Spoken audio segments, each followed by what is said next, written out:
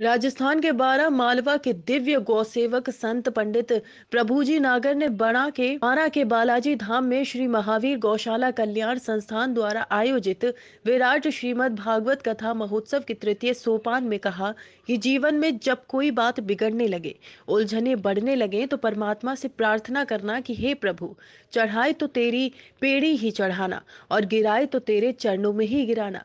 रविवार को खचाखच भरे विराट पांडाल में पूज्य नागर जी ने कहा कि हमारी भक्ति में मीरा जैसा भाव हो, हमें सत्संग से जो सदज्ञान मिलता है, उसे आचरण में उतारे। अपनी कथनी को करनी बनाकर देखो, हमें सभी इष्ट देवों की कृपा चाहिए। इसलिए प्रत्येक मंदिर से जुड़े आपको अलग अलग भक्ति रस मिलेंगे। सिर्फ़ राम नाम में नहीं, उसमें खुद को रमाओ। याद रखें, जीवन में भौतिकता कितनी भी आ जाए, नास्तिकता कभी ना आए।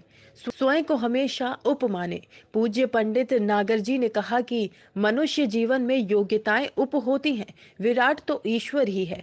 जब कैकई ने कहा था, मेरा भरत राम से बढ़कर है तो दूसरे ही दिन उनका सुहाग और सम्मान चला गया था। इसलिए हमें सदैव खुद को उप अर्थात छोटा मानना चाहिए। मनुष्य उपस्थित हो सकता है, प्रकट होने वाला तो परमात्मा ही है।